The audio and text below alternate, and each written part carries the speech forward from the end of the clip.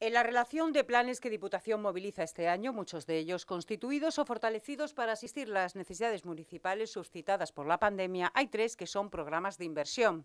Permiten, por tanto, una cobertura económica para financiar la promoción de obras públicas, suministros o equipamientos, entre otras posibilidades. Se trata del Dipu Invierte, con 21 millones de euros, que junto al Dipu Inver, con 16 millones, y el Plan Provincial de Obras y Servicios, que tiene una reserva presupuestaria de más de 3 millones de euros, suman entre los tres más de 40 millones. El nuevo plan DIPU Invierte es más flexible que las anteriores ediciones del Invierte, gracias a la relajación de la regla de gasto adoptada por el Gobierno estatal. Además, las actuaciones que cubran no tienen por qué ser forzosamente financieramente sostenibles.